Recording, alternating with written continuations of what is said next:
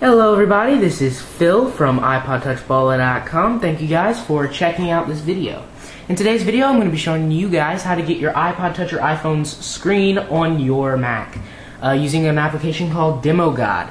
Now, as you might have remembered a few months back, I made a video on Windows how to do this using um, VNC, but this is a little different. It uses a totally different um, type of deal than VNC. It uses something called DemoGod, like I just said.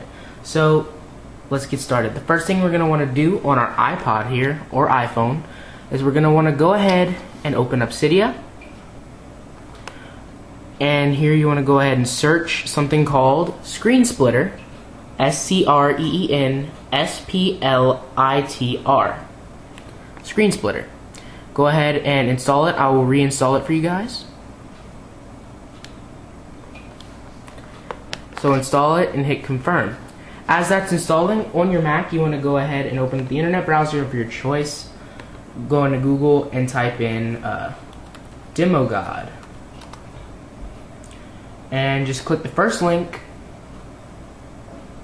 and it'll give you like this little blog post type deal. Scroll down and there'll be a number three of the instructions hit install DemoGod.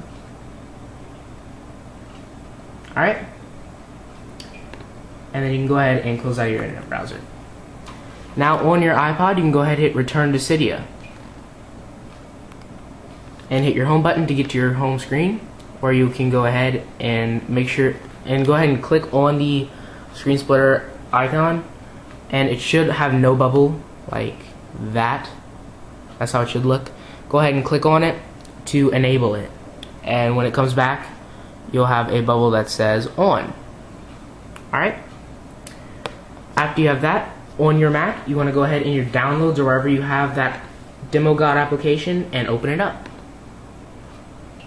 now as you can read it says that you first need to run and install install and run ScreenSplittr um, some iPhones were detected, it shows iPod Touch. That's mine.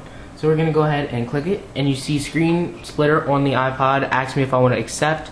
I hit accept, and now I have a mirror of my iPod screen on my Mac. So as I move this here, you'll see that it will follow. It might take it a second because it is uh, wireless, as you see.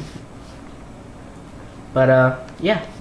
So this is Phil from iPodTouchBalla.com. Com, sorry, sounded weird. iPodTouchBalla.com. Um, I hope you enjoyed this video. This is just a little something that uh, was requested, so I decided to go ahead and make it. Um, you know, it was a short tutorial, but uh, I'll have longer ones coming up soon. Don't worry. Um, more unboxings. I have a review of the iKit dock I need to get done whenever I can borrow a phone, an iPhone. So yeah, guys, uh, this is Phil, iPodTouchBall.com. Peace. Comment, rate, subscribe. Peace.